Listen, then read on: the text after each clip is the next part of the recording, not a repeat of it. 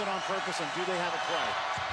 There Off it is! the side of the rim. There the it is! goes. There it is! The follow goes from Jarell Eddie, even at 78. Lorenzo Brown for the win.